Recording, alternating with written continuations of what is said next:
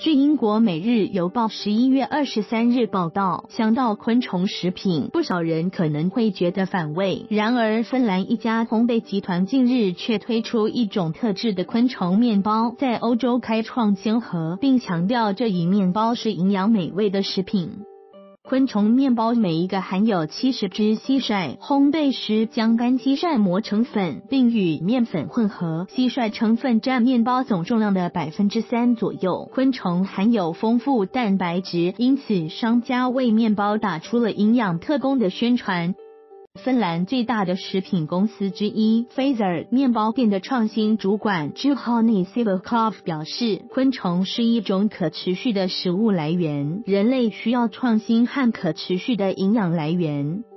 联合国粮农组织 FAO 于二零一三年启动了一项鼓励繁殖和消费昆虫的计划，称到二零三零年，廉价而生态的食物可以满足九十亿人的粮食需求。芬兰本月初成为第五个解除销售使用昆虫禁令的欧洲国家。